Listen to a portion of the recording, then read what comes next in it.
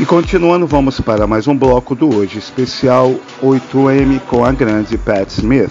No início, Smith sustentava sua carreira publicando artigos sobre rock na revista Cream.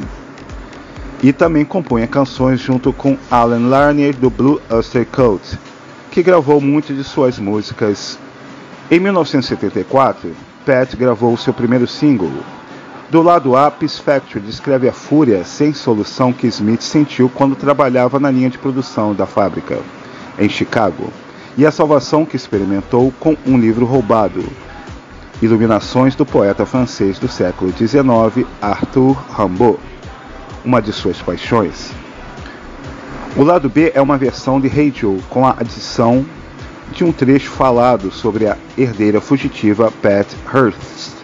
Para quem não sabe, Patty Hearst é neta do magnata das comunicações William Rudolph Hearst e tornou-se famosa em 74 quando foi sequestrada por membros do exército Simbilionês de Libertação.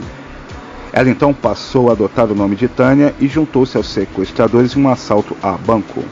Ela foi presa e cumpriu parte da pena até receber o indulto do então presidente Jimmy Carter.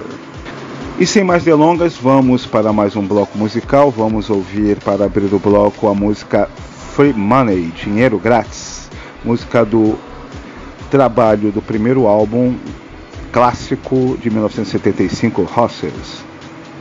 Em seguida, vamos com As Pessoas Têm Poder, People Have the Power, música em que Pat Smith faz um protesto contra Donald Trump e declara o seu apoio de Greta Thunberg. E fechando o bloco, vamos com a música clássica Porque a Noite, primeiro grande sucesso a nível mundial de Pat Smith, composta por ela e Bruce Springsteen. Então, sem mais delongas, som na caixa e aumenta que isso aí é rock